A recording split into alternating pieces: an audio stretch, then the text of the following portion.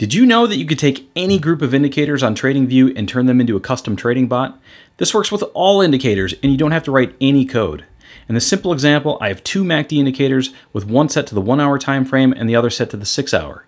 The strategy is to buy when the one hour MACD crosses above the signal, but only if the six hour MACD is above the signal. When the one hour MACD line closes back under the signal, sell. Add an alert to the 1 hour MACD where the MACD closes above the signal and generate the group alert code inside TommyBots. Copy the code and head back to TradingView, paste it in, and hit create.